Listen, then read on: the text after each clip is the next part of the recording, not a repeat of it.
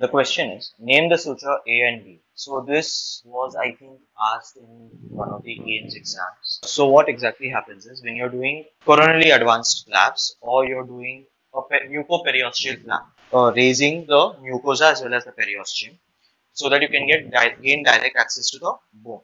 Now, when you're going to be doing such things, what exactly happens is the mucosa as well as the periosteum is being ripped off or is being stripped away from the bone. Now, because of that, if this is the bone, if this is the bone, my mucosa, this is my mucosa and this is my periosteum. So, the mucosa as well as the periosteum, there is one incision that I give and then with the periosteal elevator, I start reflecting both the mucosa as well as the periosteum. After I have done whatever procedure I have to with the bone, what exactly I end up doing is I place the flap back along with the periosteum. Now, like I told you, when we are reflecting, so clinically when you're actually trying to reflect a flap, you don't, there are instances where the mucosal, mucosa is separated from the periosteum. So what happens is, you have the bone, you have the periosteum and the mucosa. You, it comes out as three different layers or two different layers.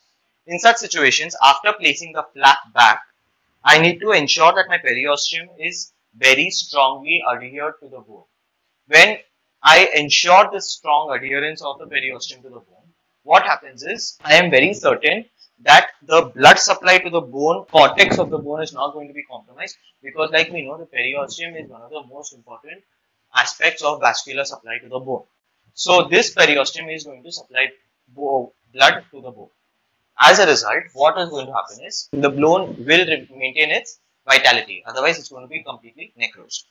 So when I'm going to be suturing the periosteum, the periosteum has to be sutured properly to the bone and it has to stay in that place.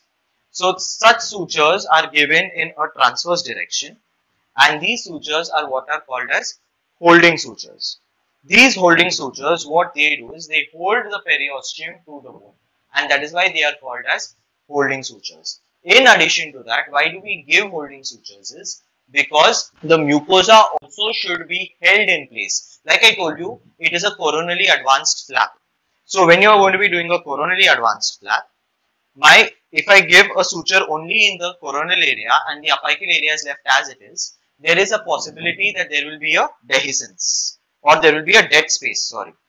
Now this dead space should not occur.